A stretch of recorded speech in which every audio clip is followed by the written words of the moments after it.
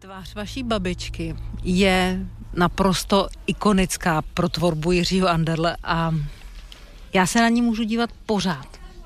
Nikdy mě ten obraz nepřestane bavit. Čím to je? Možná, že se mě v tom podařilo zobrazit tu její duši. Babička vždycky říkala, nezáleží na tom, jestli je někdo inženýr jednou, dvakrát, třikrát. Především hlavní věc je, aby byl mravnej. Mravnost, rozumíš? Mravnost.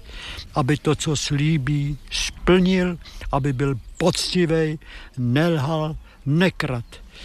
Babička měla, že sedm dětí, to jednou umřelo. Děda se vrátil z války invalidní, na levou ruku ochrnutou. Měla strašně těžký život, ale mě jako s maminkou vychovali dobře.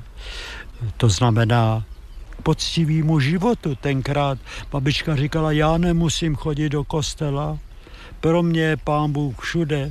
A mně stačí, když se řídím jedním přikázáním.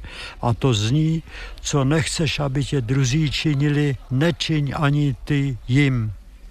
No tak možná, že tadyhle ta, ta vzácná dobrota, poctivost, čestnost, ta mravnost se v té tváři odráží.